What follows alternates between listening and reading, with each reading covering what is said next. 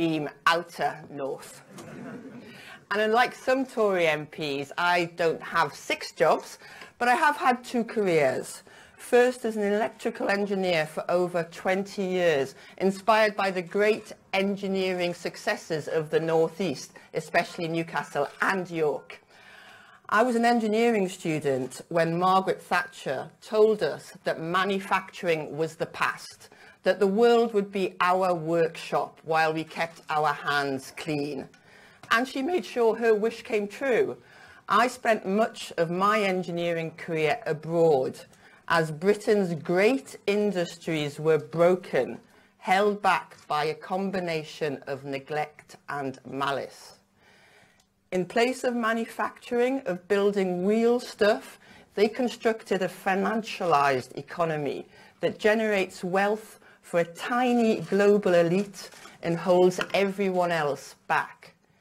If you're a small business struggling to raise a capital for a bold new venture, you're being held back.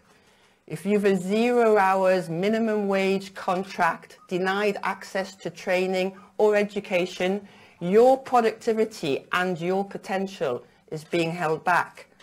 And if you're a tech startup that can't find enough skilled workers to launch your groundbreaking new product, you're being held back.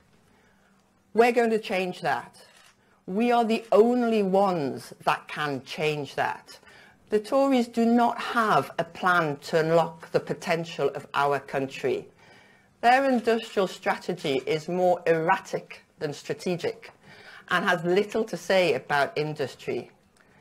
Labour, on the other hand, has a more productive vision for our future, an innovation nation delivering fair and sustainable growth, where we can all be wealth creators and share in the wealth created.